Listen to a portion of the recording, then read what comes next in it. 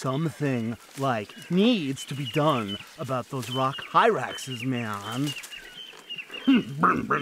They're a little underfoot, if you ask me.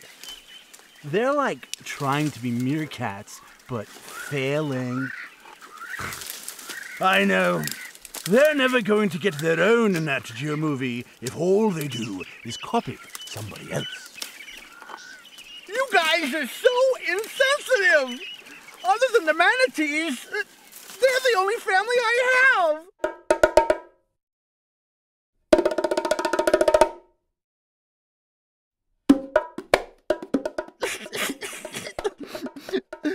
it's not like you guys are mice!